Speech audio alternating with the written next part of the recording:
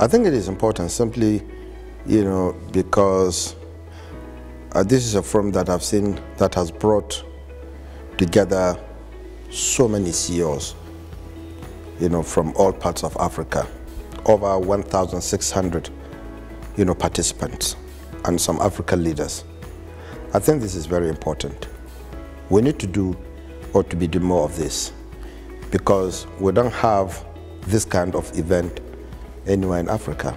And I'm very, very impressed because by the time you have, you know, by the time you have so many people from all over Africa, you know, uh, putting heads together, I think we'll achieve quite a lot.